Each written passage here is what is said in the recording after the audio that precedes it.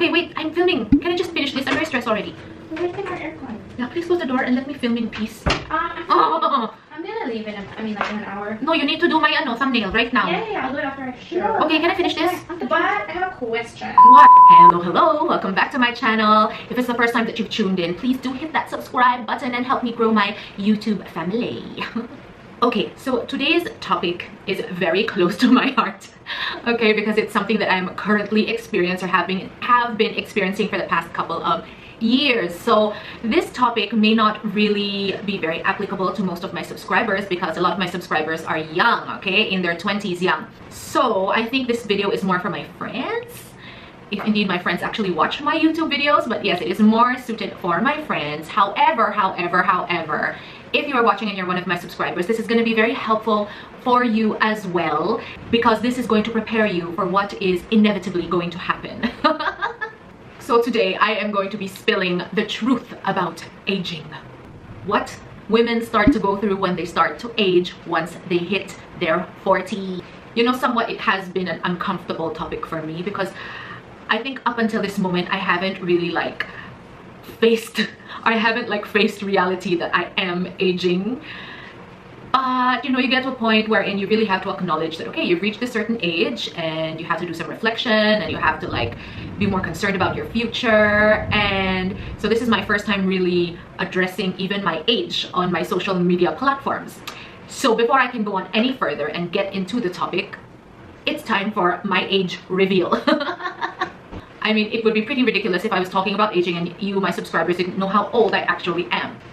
So this is it. This is my age reveal. Guys, I am 42 years old. Okay, so my birthday is in April. So if you are watching this April 2020 onwards, I'm already 43. Wow. and the truth of the matter is that I remember that when I turned 30, I felt so old. I was like, oh my god, my life is like totally downhill from here. like, you know, goodbye 20s, goodbye to my youth, and I'm now 30. But when I hit my 40s, when I hit 40, that was something else okay? And i'm going to be talking about that. So yep the truth about aging and what you should be doing in your 20s to prepare better for when you turn 40 let's get into it.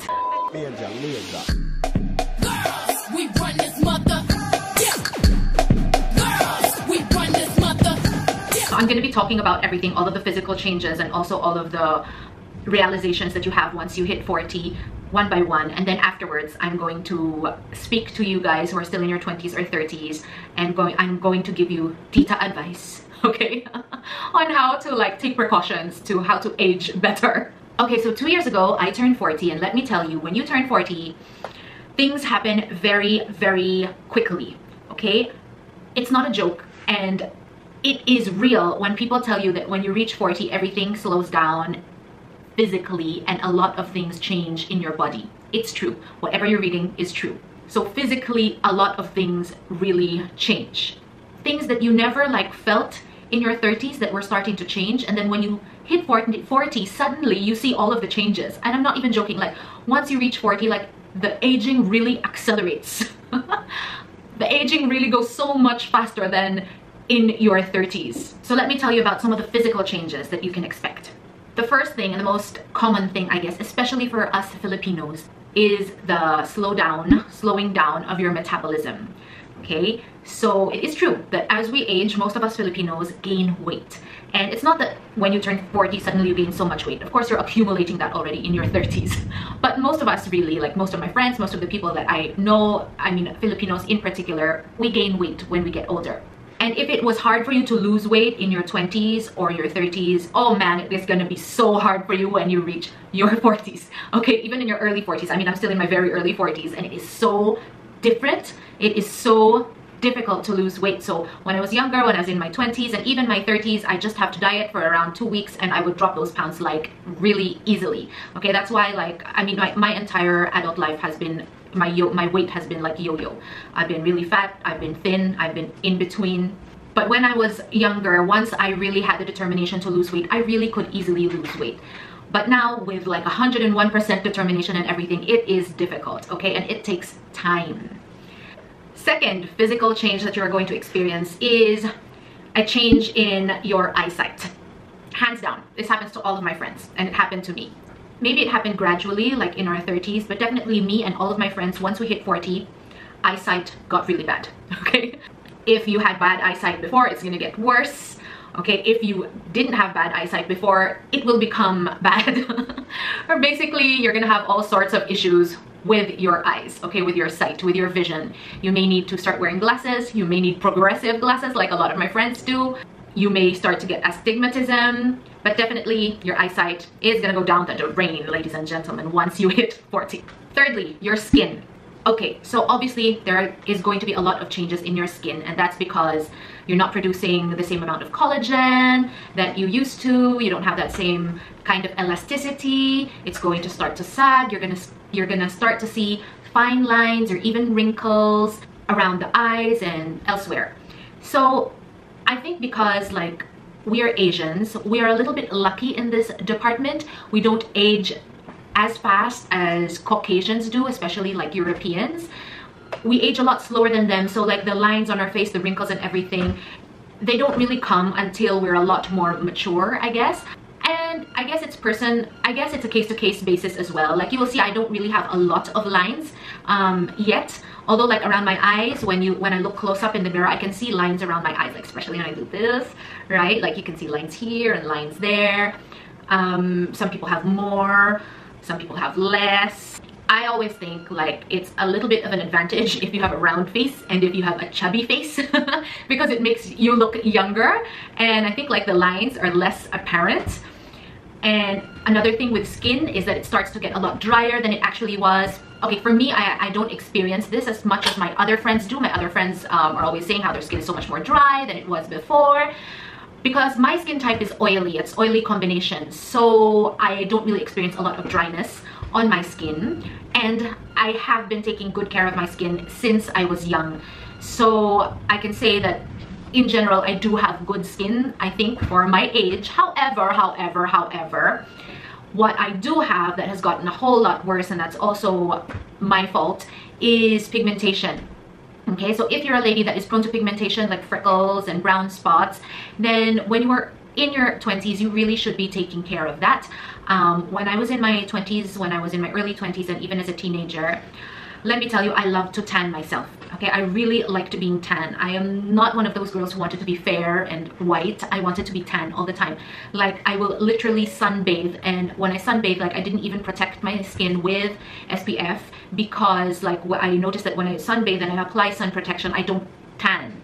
So I really would not wear any protection at all and that's you know due to ignorance as well. I didn't know that. I just really wanted to be tanned and I didn't realize that I am so prone to pigmentation and so today I really have a lot of pigmentation that I have to cover up with full coverage foundations and I have to use so many anti-dark spot serums and creams and skincare like i'm always warning my daughters about this like please stay out of the sun. Because like especially my eldest daughter china she loves to tan herself as well. She doesn't like being fair. I know we're both weird this way that we're so like most asians like to be fair but like the two of us we we feel like we look um european you know like italian or something when we're tan so she also loves to tan herself. She doesn't like being fair or white. She likes being dark.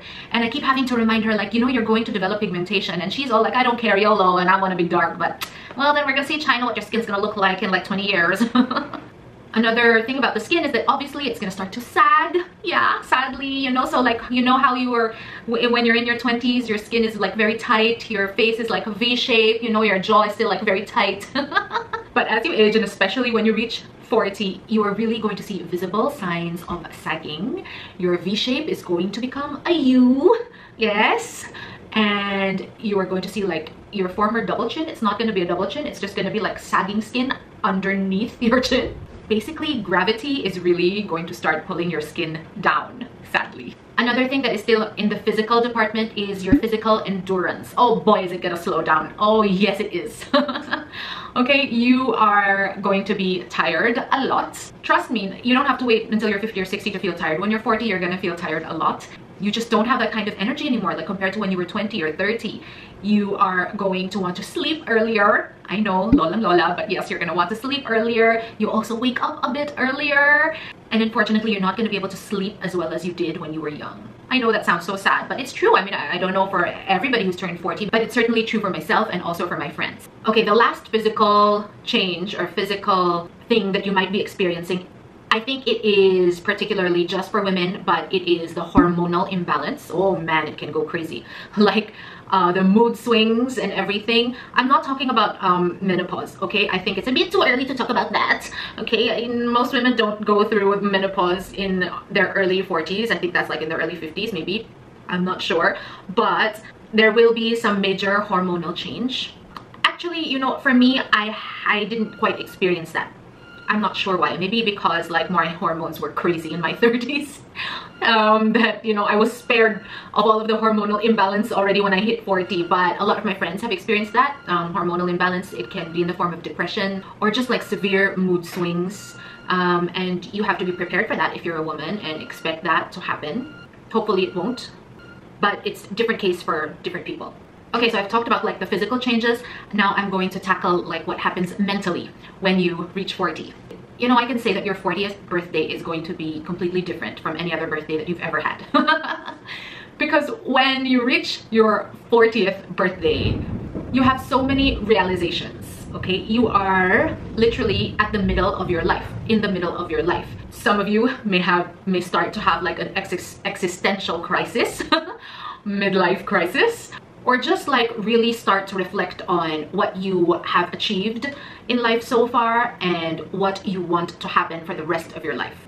So this is certainly something that I experienced when I turned 40 and more so when I turned 41. You are really going to start to wonder, am I prepared? Am I prepared for my golden years? Am I prepared for retirement? Do I have enough savings? Have I achieved everything that I want to achieve in life? Are my children okay? What kind of legacy am I starting to build for them? Or do I even have a legacy to leave behind? Yes, you are definitely gonna start thinking these deep thoughts. And you know what? That is somewhat also why I started this blog.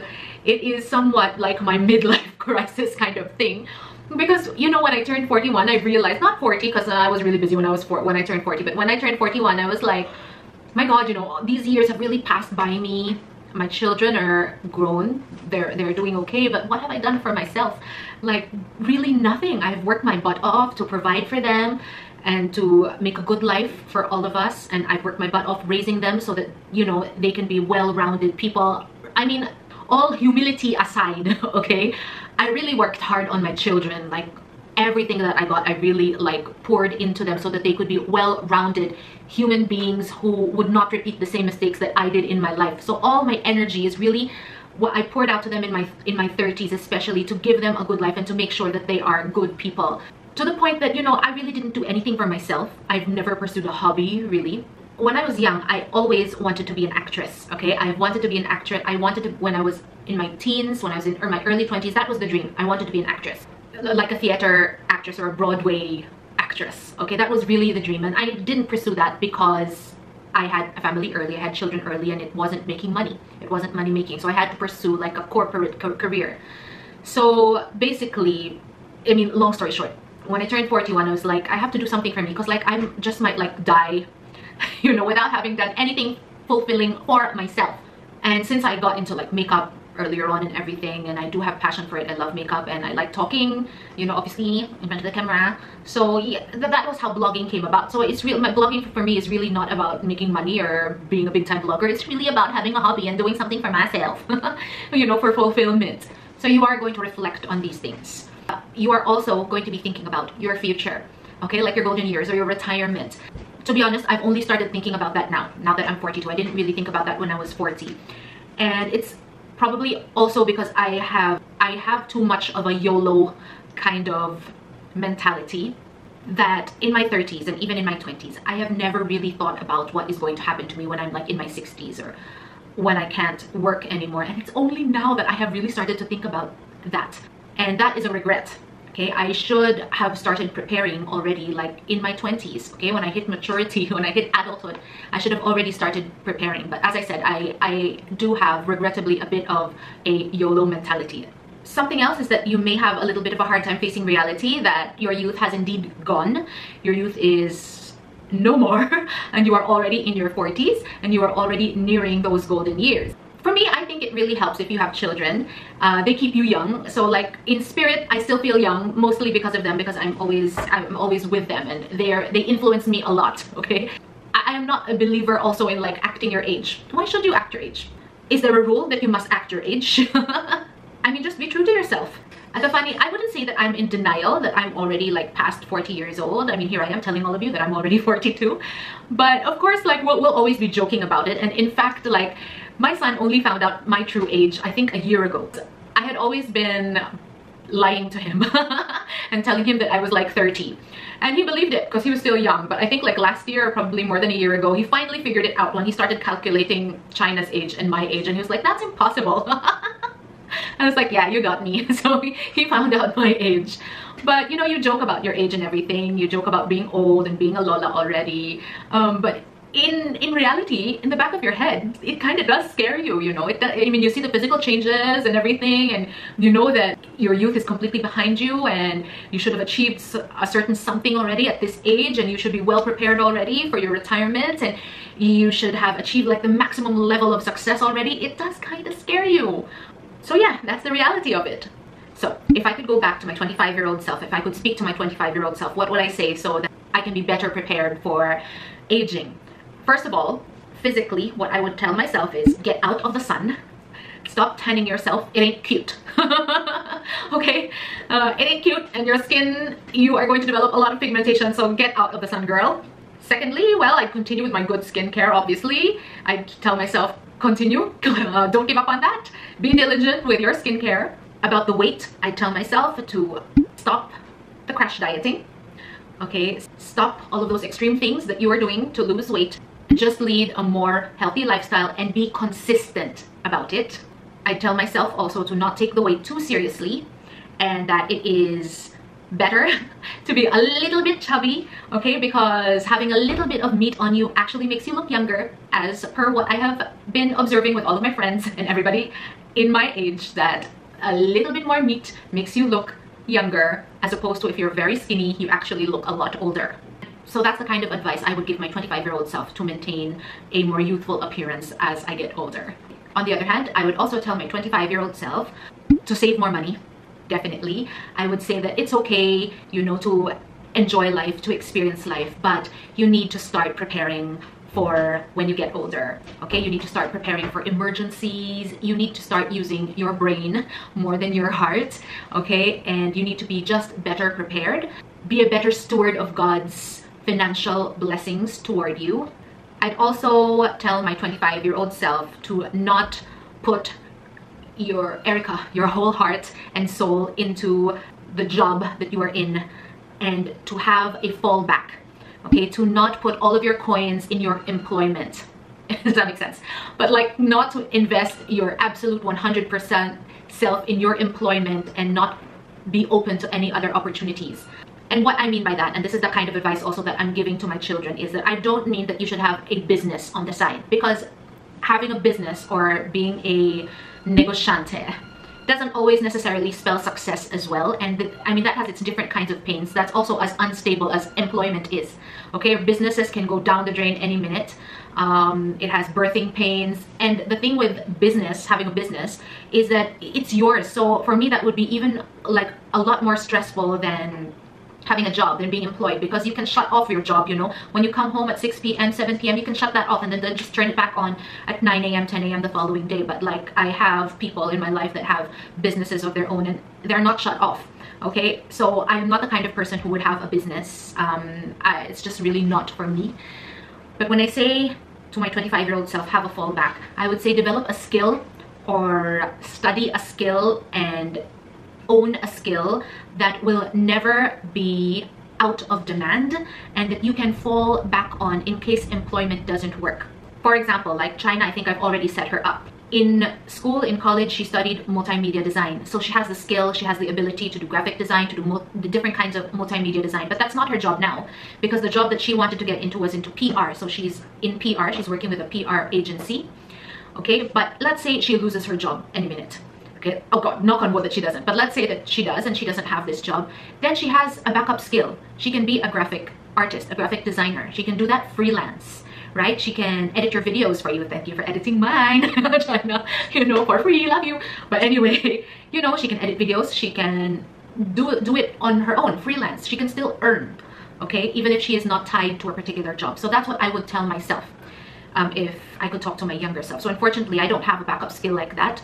Um, I'm fortunate enough enough to be employed, but if I weren't employed, oh, I don't know what I'd be doing, you know, um, to, to earn money. So guys in your 20s, you may want to listen to that piece of advice from your tita. so that's the truth about aging. That is what you are going to experience when you hit 40 years old and that's also the advice I have for you if you're still in your 20s and your 30s and you want to hear from someone who's already 42. And now it's time for my fun Filipino word of the day. So my fun Filipino word of the day is bagets. Bagets means young. bagets is used to describe people who are young or in their teens or in their early 20s. You can say mga bagets. Those people are bagets. Th that term, in case you guys, my young subscribers didn't know, was actually coined from a movie in the 80s, a local Filipino movie starring actors like Yayo Aguila and Francis Magalona and others, you Eula Valdez. And they were still young and it was about this barkada and the, the movie is called Bagets because they were all young. So you know like the cast in Stranger Things, you can call them mga bagets. okay? So people who have turned 40, we are no longer bagets. But most of us do have our own bagets. That's a fun Filipino word of the day, bagets. And my shout out today goes to Miss Rowie Bermudez. I hope you're watching this. Hello, Miss Beautiful. Thank you for all of your support on my Instagram as well.